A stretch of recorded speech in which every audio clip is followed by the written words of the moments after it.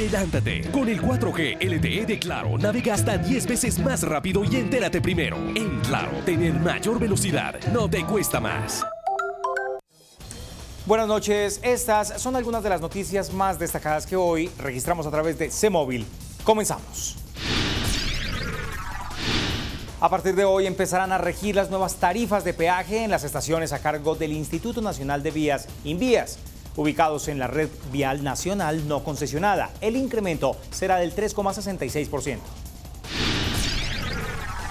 Durante la presentación del balance del Plan de Choque de Seguridad Ciudadana, el presidente Juan Manuel Santos consideró que la seguridad será factor crucial en el postconflicto.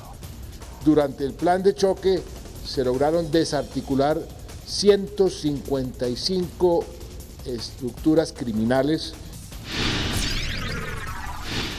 El alcalde de Bogotá, Gustavo Petro, aseguró que en un trabajo conjunto con la Fiscalía General se está adelantando una investigación para establecer el motivo de las muertes de los jóvenes que se han presentado en los últimos días en Bogotá. El gobernador de Santander señaló que se están implementando las medidas necesarias para mitigar el contrabando que tiene preocupadas a las autoridades de la región. La situación de Venezuela está afectando el contrabando en el departamento del norte de Santander, pero podemos decir que estamos implementando dichas medidas para mitigarlo, lo que es el contrabando de gasolina.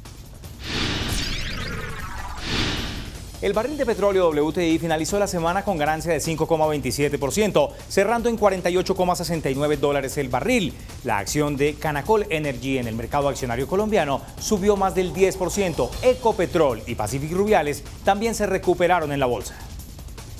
No olvide seguirnos en Twitter, arroba CMI La Noticia y recuerde que C-Móvil es información en su móvil, claro. Feliz noche.